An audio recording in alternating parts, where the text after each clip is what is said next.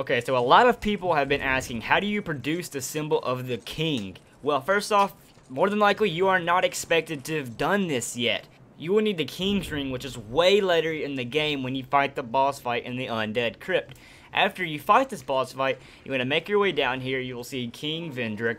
He's really not bothering anyone. He will attack you if you attack him, but just walk past him and you will get the King's Ring. Now the door will open. I cannot tell you how many times I was asked, how do you do this?